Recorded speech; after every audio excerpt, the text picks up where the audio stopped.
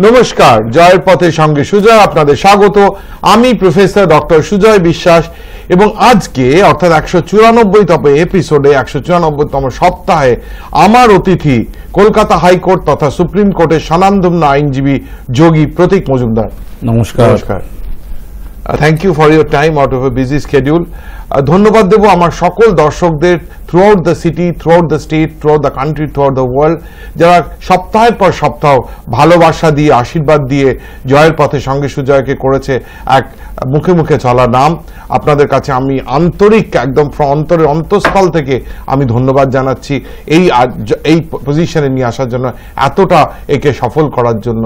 একশো চুরানব্বইতম এপিসোড দেখতে পাচ্ছি উঁকি মারছে দুশোতম episode it's a milestone and it's not easy সঙ্গে রাখুন, দেখতে থাকুন, জয়ের পথে সঙ্গে সুজয়।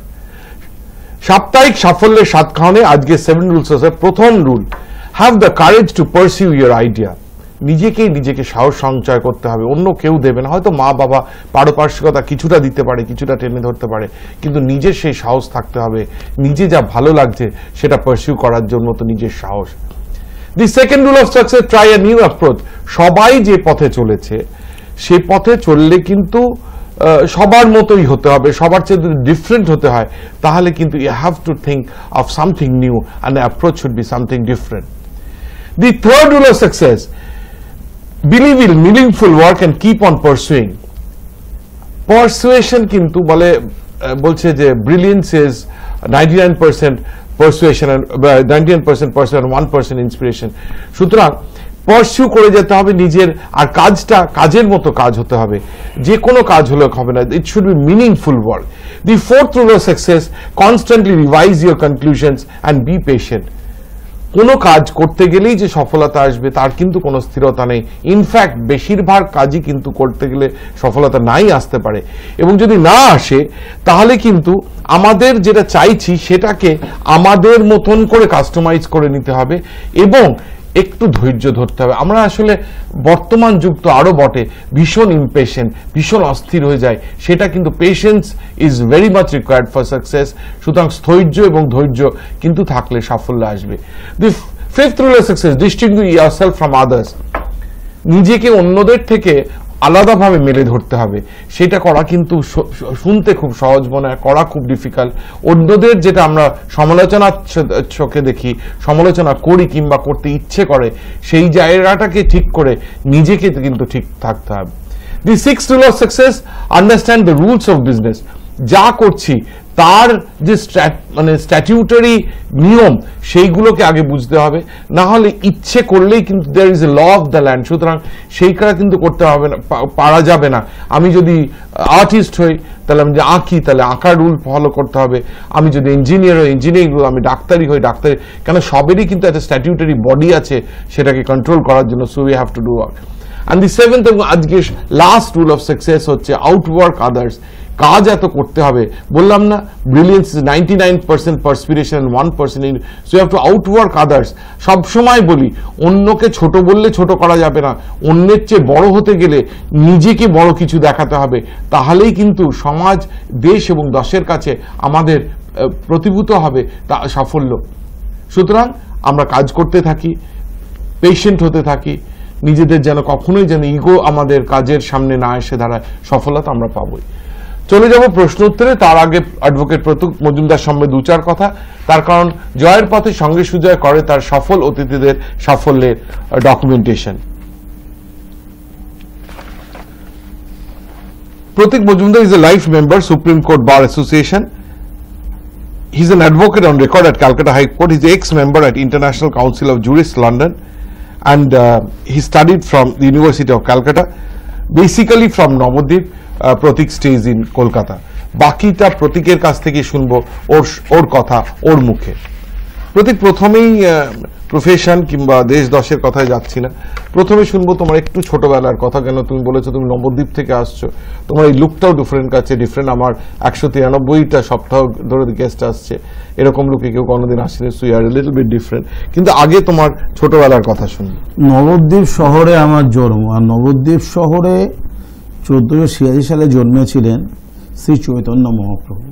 শ্রী চৈতন্য মহাপ্রভু এমন একটা মানুষ যে মানব প্রেমের কথা বললেন, যে আমরা সবাই সমান, উঁচু জাত, নিচু জাত, সবাই সমান, যেখানে মহাপ্রভু নিজে ছিলেন উচ্চবর্ণের হিন্দু, তো মহাপ্রভুর সেই ভাবধারাতে নবদ্বীপের মানুষরা কম বেশি সবাই হলো প্রভাবিত। আর আমি যেহেতু নবদ্বীপ শহরে একদম বাচ্চা বয়স থেকে ছিলাম এবং মহাপ্রভুর জন্মস্থানটা আমার যেখানে বাড়ি সেখানেই, প্রাচীন মায়াপুর। তো প্রাচীন মায়াপুরের জন্মস্থানে আমি যাই, আমার হয়তো ইয়ে বুদ্ধি হওয়ার আগে থেকে। এবং সেখানে অনেক মন্দির আছে, এবং মানুষ মানুষকে কি করে ভালোবাসতে পারে, সেই ভাবধারাটা আমি কিন্তু ওই নবদ্বীপ শহর থেকেই পেয়েছি। আজকের দিন অবধি আমার চোখে সবাই সমান, আমি সবাইকে সমান দেখি।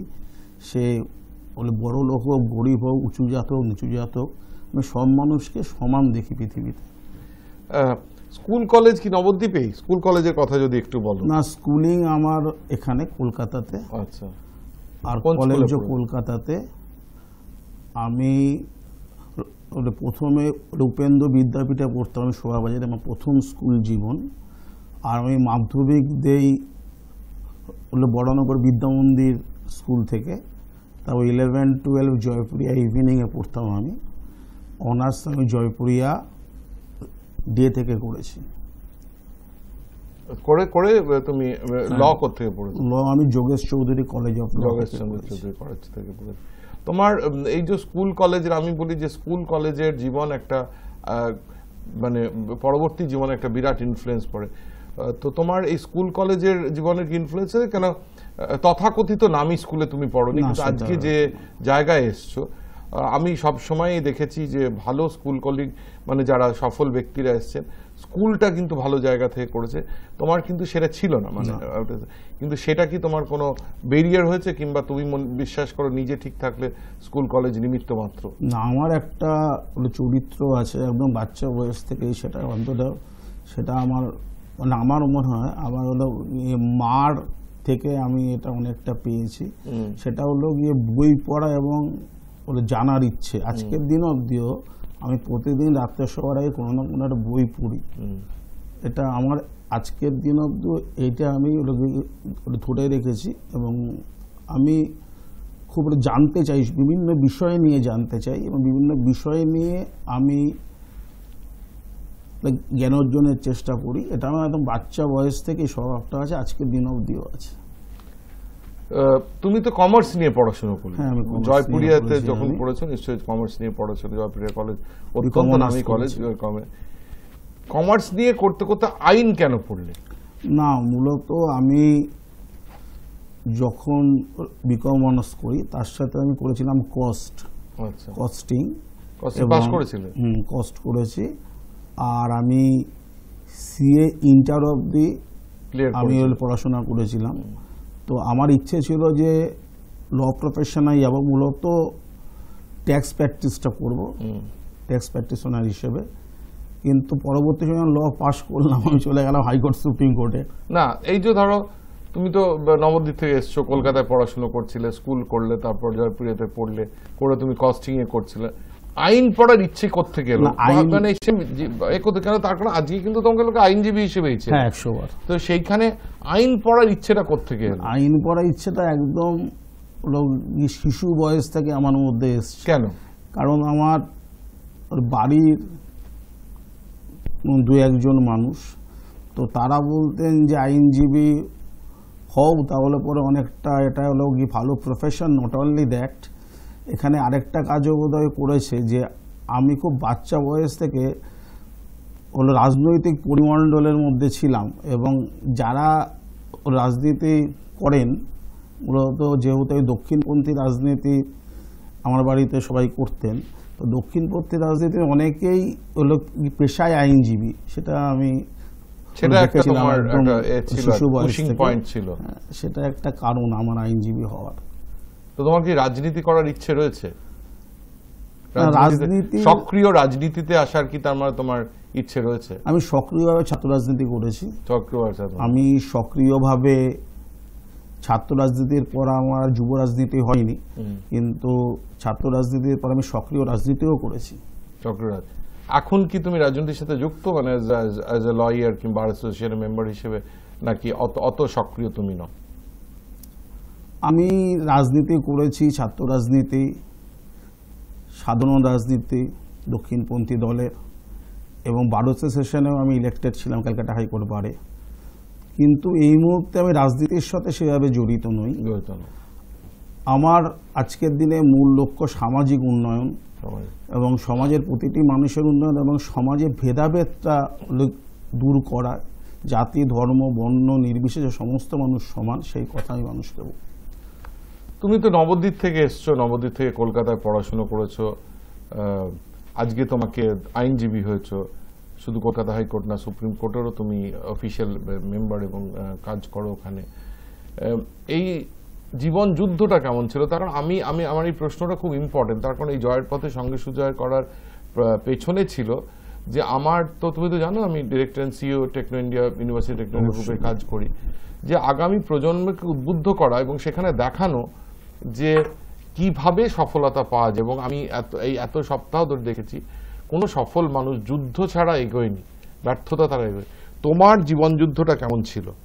কেন তোমার you are not from Calcutta you are from Nabadwip you came to Calcutta you change schools এবং তারপর কলেজ এবং তারপর আইন পড়া you are number of institutions যেখানে তোমার জীবন যুদ্ধটা কেমন ছিল? আজকে তো লোকে তোমার চেনে, নানান প্ল্যাটফর্মে তোমার সাথে আমার দেখা হয়, তোমাকে ডাকে এবং তুমি খুব humble his Pratik Majumdar is very humble person কিন্তু তোমার জীবন যুদ্ধটা কেমন ছিল? জীবন লড়াইটা কেমন ছিল? আর তোমার স্মুথ সেলিং ছিল? সবচেয়ে যেটি যেটা আমার হলো মনে হয়েছে আমার জীবনের খুব দাগ কেটে গেছে। যেদিন আমি হাইকোর্টে প্রথম গেছিলাম যেই মানুষটার আমাকে সাহায্য করবে এটা আমি আশা করে গেছিলাম সে মানুষটা আমাকে সাহায্য করেনি হাইকোর্টে। এবং যারা সাহায্য সেভাবে করার নয়, আমার পারিবারিক বন্ধু নয় তারা তারা আমাকে সাহায্য করেছে। এবং প্রফেশনের লড়াই আমাদের প্রফেশনে সবসময় কারণ একজন আইনজীবী বলতে পারেন না যে সারা জীবন তার একইভাবে তার প্রফেশন চলবে। আপস অ্যান্ড ডাউন উঁচু নিচু থাকবে। আমাদের প্রফেশনে এটা খুব দেখতে পাওয়া যায়।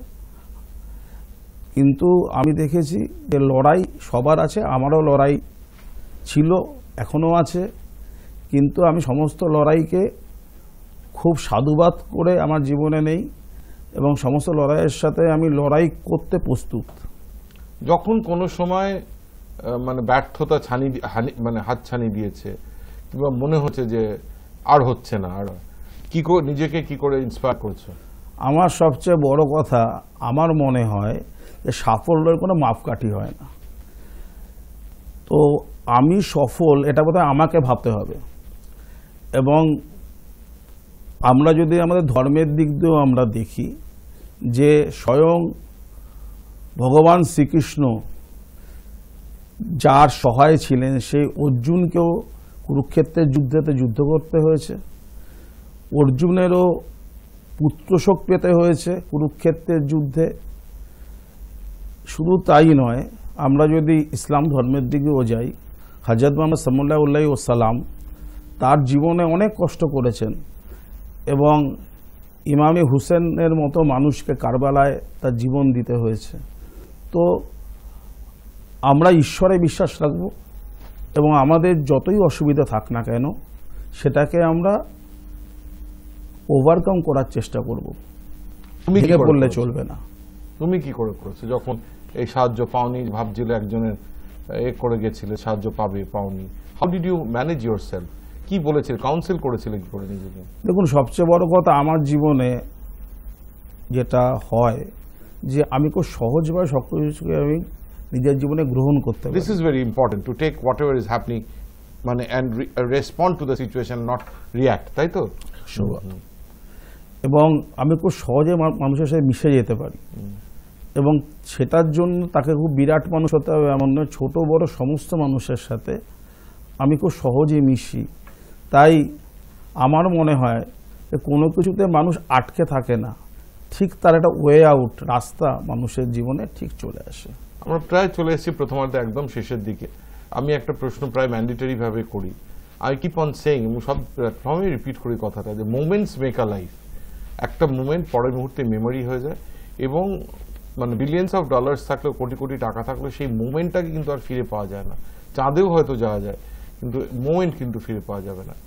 তোমার তো অনেক দিন বাকি রয়ে রয়েছে যে তুমি দীর্ঘ ছবি আমরা আশা করি যে তুমি অনেক কাজ নাম করবে। টিল ডেট কোনো মুহূর্ত আছে জীবনে যেটা you would like to cherish for the rest of your life মুহূর্ত অনেক আছে কোনো একটা মুহূর্ত যেটা ওয়ান অফ দ্য তো সবচেয়ে বড় আমার কাছে খুব সুন্দর মুহূর্ত যে আমি এ কদিন আগেই ফেব্রুয়ারির সাতাশ তারিখে ডক্টর পি আর আম্বেদকরের গ্র্যান্ডসন পোতা রাজরতন আম্বেদকর এসছিলেন কলকাতাতে এবং তুষার গান্ধী, জাতির জনক মহাত্মা গান্ধীর গ্র্যান্ডসন পোতা উনিও কলকাতায় এসেছিলেন। আমরা সমস্ত সেকুলার মানুষরা তাদেরকে অভ্যর্থনা দিলাম। আঠাশে ফেব্রুয়ারি পাঁচ সার্কাস ময়দানে। তো এই অনুষ্ঠানটা আমার জীবনের অন্যতম একটা মুহূর্ত। ও এক্সেলেন্ট গান্ধীজির নাতি আম্বেদকর সাহেবের নাতির সাথে পোতা আর কি মানে গ্র্যান্ডসন গ্র্যান্ডসান তার সাথে প্রতীকের কিছুদিন আগেই কথা হয়েছে। সর্বধর্ম সম্মেলন নিয়ে কথা বলেছেন পাকসান অ্যান্ড দ্যাট ইজ স্টিল এবং তাই জন্য ডেটটাও মনে আছে is very near twenty seven February চলে যাব বিরতিতে বিরতিতে যাওয়ার আগে একটা ছোট্ট গল্প বলে যাব। বরুণ থাকে লখনৌতে কলকাতায় আসে বন্ধুদের সাথে এবং একটা জায়গায় একটা শরবত হয় সেটা খেতে, খাওয়ার জন্য ওর সব বন্ধুরা মিট করে। বরুণও যায় কলকাতা এলেই সময় করে সেই শরবত বিক্রেতার কাছে, শরবত বিক্রেতার দোকানে কিন্তু তারা যাবে, পাঁচ ছজন মিলে খাবে। এবারও এসছে, গেছে, সবাই শরবত খাচ্ছে। দেখছি না, বৃদ্ধা ভদ্রমহিলা এসে ভিক্ষা চাইছেন।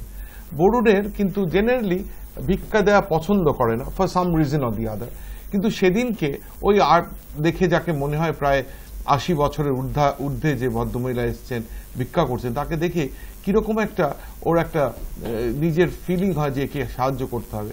প্রথমে যদিও অটোমেটিক্যালি হাতটা মানি ব্যাগে চলে যায়, কিন্তু শেষে হাতটা উইথড্র করে নেয়। সে বৃদ্ধার কাছে গিয়ে বলে, দিদা, তুমি কি কিছু খাব তুমি এক এক বোতল, এক এক কাপ, এক গেলাস শরবত খাবে? এই দিদা শুনে ভদ্রমহিলার মুখ যেন একটা অন্য রকমের আকার নেয়। এবং সে অনেকক্ষণ বাদে মাথা ঝাঁকিয়ে বলে যে হ্যাঁ। এবার যে দোকানি তাকে সে বলে দেয়, বরুণ বলে দেয় যে আ- আরেকটা ভালো করে একটা শরবত, একটা স্পেশাল শরবত করে দাও। বৃদ্ধা একটু পাশে গিয়ে দাঁড়ান। একটু পরেই বরুণ এবং তার পাঁচ, চার, পাঁচ বন্ধুর শরবত চলে আসে এবং তার একটু পরে বৃদ্ধার কাছে শরবতটা যায়। বৃদ্ধা মাটিতে বসে সেই শরবতটা খেতে শুরু করে বরুণের যেন কীরকম বসতে ইচ্ছে করছিল না, কীরকম বৃদ্ধার পাশে বসতে গিয়ে, বৃদ্ধাকে মনে হচ্ছিল বৃদ্ধাকে নিয়ে এসে তাদের সঙ্গে বসিয়ে খাওয়ায়। কিন্তু তারপর সমাজ আছে তো সমাজের কে কি বলবে, যে কি করছে, পাগলামি করছে। তাই বরুণ নিজেই শরবতটা নিয়ে গিয়ে বৃদ্ধার পাশে বসে খেতে শুরু করল। সেই দেখে দোকানি এক দুটো চেয়ার পাঠিয়ে, তার কর্মচারীকে দুটো চেয়ার পাঠিয়ে বলল, আপনারা চেয়ারে বসেই খান। বরুণ তাই শেষ করল। এবার যখন দোকানি যখন একে দেখল, তখন বরুণ যাকে যখন দোকানিকে থ্যাঙ্কস বলল চেয়ারটার জন্য, তখন দোকানি বলল কাইন্ডলি থ্যাঙ্কসটা বলবেন না, ধন্যবাদটা বলবেন না। রোজ দিন অনেক কাস্টমার আসে দোকানে, মানুষ আসে না, মানুষের মতো মানুষ আসে না। একটু মানুষ এসছেন, আমাকে এটা করতে দিন। আপনি আমাদের চোখ, আমার চোখ খুলে দিলেন এরপরে কোনোদিন যদি দেখি যে কোনো এক, কোনো এরকম একজন অসহায় সম্বলীন বৃদ্ধ, বৃদ্ধা কিংবা কোনো সহায় মানুষ আসছে, তাকে আমি চেষ্টা করব যে অর্থা অর্থা অর্থে ছাড়া তাকে যেন আমি খাইয়ে সেবা করতে পারি। ছোট্ট ঘটনা, ছোট্ট কাহিনী।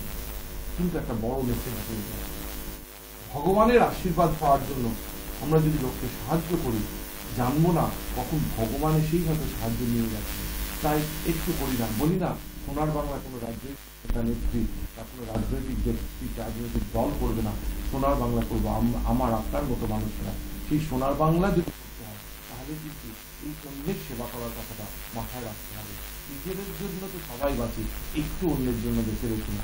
ফিরে আসবে একটা ছোট্ট বিরতির পর, আপনারা দেখছেন জয়ের পথে সঙ্গে